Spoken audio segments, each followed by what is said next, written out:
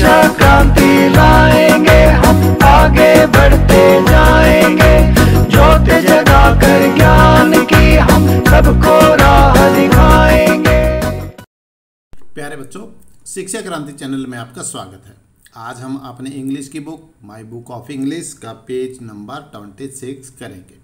तो बच्चों इस वीडियो को आप शुरू से लेकर अंत तक जरूर देखना ताकि आज जो करवाया जा रहा है वो आपको अच्छी तरह समझ में आ जाए और अगर आपको ये मेरी वीडियो अच्छी लगे तो इस वीडियो को लाइक करना शेयर करना और अगर आप मेरे चैनल शिक्षा क्रांति पर पहली बार आए हैं तो मेरे चैनल शिक्षा क्रांति को जरूर सब्सक्राइब करना तो चलो शुरू करते हैं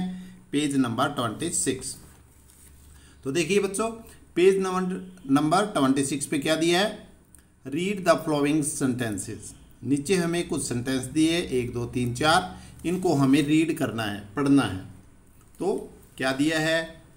a swan fell in front of him यहाँ पे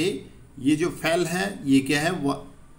क्या बच्चों ये वर्ब है क्या है ये वर्ब है और वर्ब की सेकंड फॉर्म दी हुई है आगे मैंने लिखी भी है इसकी फर्स्ट फॉर्म क्या होगी फाल फैल फालन फाल फैल फालन ये इसकी तीनों फॉर्म होती है तो ये वर्ब की सेकंड फॉर्म है और sentence number two a swan did not fall in front of him तो देखिए यहाँ पे ये पास्ट इंडिफिनेट टेंस में दिया हुआ है और सिंपल सेंटेंस है और यहाँ पे ये नेगेटिव सेंटेंस बना दिया इसको क्या बना दिया नेगेटिव यानी कि ना वाला वाक्य इसकी हिंदी क्या हुई ए स्वान एक हंस fell in front of him उसके सामने गिरा एक हंस उसके सामने गिरा परंतु यहाँ पे क्या बना a swan did not fall in front of him कि एक हंस उसके सामने नहीं गिरा तो यहाँ पे ये साधारण वाक्य था यहाँ पे इसने क्या कर दिया ना वाला वाक्य बना दिया यानी कि नेगेटिव बना दिया थर्ड में देखिए prince Siddhartha took out the arrow यहाँ पे जो इटालिक इटालिक क्या होता है बच्चों जो थोड़ा सा तिरछा दिया होता है ये इटालिक वर्ड है ये क्या है वर्ब है क्या ये वर्ब है और वर्ब की सेकंड फॉर्म दी हुई है फर्स्ट फॉर्म क्या होती है टुक की टेक तो यहाँ पे टेक की सेकंड फॉर्म दे रखी है prince Siddhartha took out the arrow prince Siddhartha ने राजकुमार सिद्धार्थ ने तीर बाहर निकाला एरो क्या होता है तीर और टुक आउट निकालना टुक आउट निकालना कि राजकुमार सिद्धार्थ ने तीर निकाला टुक आउट बाहर निकाला यहाँ पे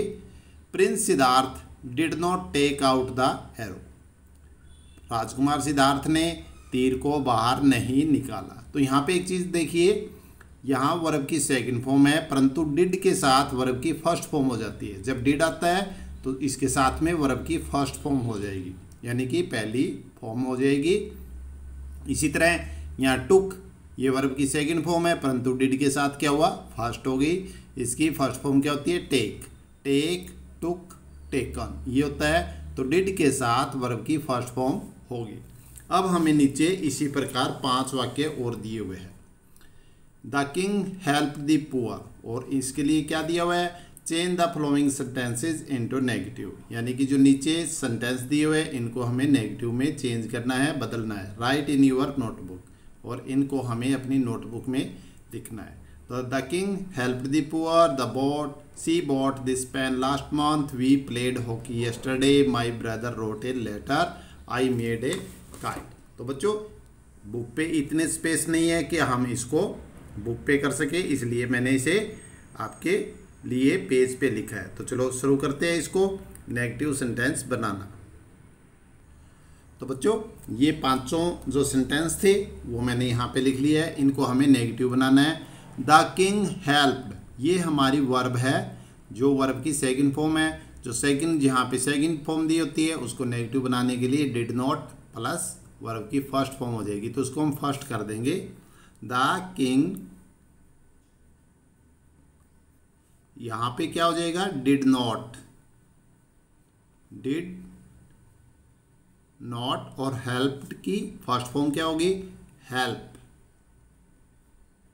the poor.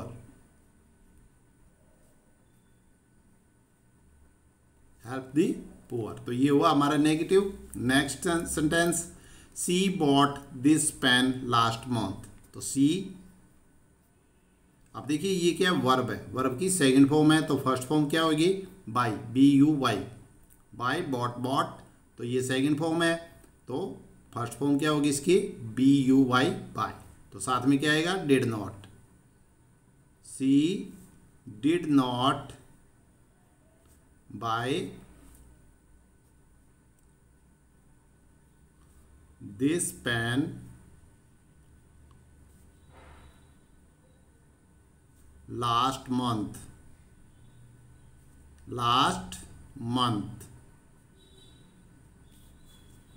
Third hai, we played hockey yesterday. We played तो इसमें वर्ब क्या है बच्चों प्लेट ये वर्ब की सेकंड फॉर्म है फर्स्ट फॉर्म क्या होगी इसकी प्ले फर्स्ट फॉर्म क्या होगी प्ले तो वी प्लेट तो इसके नेगेटिव बनाएंगे तो क्या होगा जो सेकंड वर्ब है इसकी जगह did not plus first form we did not play hockey yesterday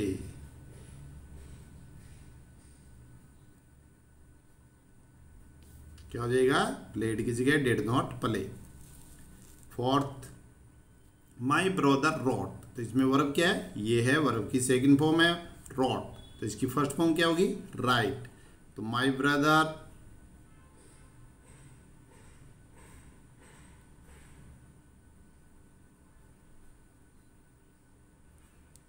wrote इसकी जगह क्या हो जाएगा did not write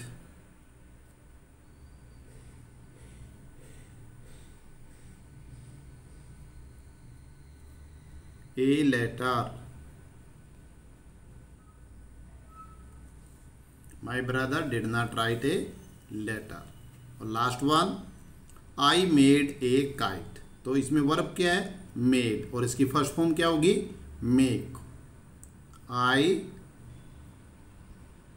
did not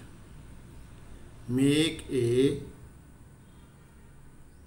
kite I did not make a kite तो बच्चों जहाँ पे वर्ब की सेकेंड फॉर्म होती है वो होता है हमारा पास्ट डेफिनेट टेंस और इसको नेगेटिव बनाने के लिए